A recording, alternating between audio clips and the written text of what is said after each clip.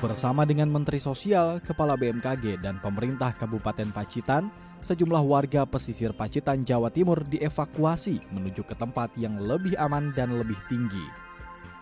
Inilah simulasi bencana yang dilakukan dalam menanggapi kajian Badan Meteorologi, Klimatologi, dan Geofisika terhadap potensi gelombang tsunami setinggi 28 meter yang mengancam wilayah Kabupaten Pacitan. Kajian BMKG menyebutkan kawasan pesisir Jawa berpotensi mengalami gempa dan tsunami akibat pergerakan lempeng tektonik Indo-Australia dan Eurasia. Hasil penelitian BMKG bahkan menyatakan wilayah Pacitan memiliki potensi tsunami setinggi 28 meter dengan estimasi waktu tiba kurang dari 30 menit. Gempa bumi akan muncul dengan magnitudo 8,7 skala Richter dengan potensi ketinggian air bervariasi, mulai dari 25 hingga 28 meter di wilayah pantai atau pesisir, 11 hingga 17 meter di wilayah bantaran sungai, 6 hingga 11 meter di wilayah tengah, dan 10 hingga 12 meter di bantaran sungai Grindulu. Tsunami diprediksi masuk hingga jarak 6 km ke kota Pacitan kita ambil adalah skenario terburuk.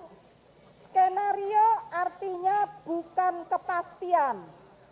Skenario adalah berjaga-jaga. Bukan kepastian, bukan prediksi, tetapi berjaga-jaga untuk kemungkinan terburuk. Yaitu apabila gempa bumi berkekuatan 8,7 yaitu gempa megatrust terjadi dengan epicenter 300 km Tenggara Pacitan. Menteri Sosial Tri Risma hari ini menekankan simulasi bencana ini diadakan agar masyarakat Pacitan tahu mengenai tindakan yang harus dilakukan ketika terjadi gempa bumi, ditambah dengan prediksi tsunami setelah gempa bumi terjadi. Ya minimal masyarakat tahu mereka akan lari ke mana saat terjadi itu, sehingga saat terjadi sesuatu yang naudzubillah mendalit itu terjadi, maka mereka sudah tahu cara jalan evakuasinya ke mana gitu. Saya pikir uh, semuanya harus siap. Mudah-mudahan tidak terjadi ya. Mudah-mudahan tidak terjadi. Tapi uh, tidak ada yang salah kalau kita kemudian menyiapkan diri. Banyak negara yang di posisi seperti itu.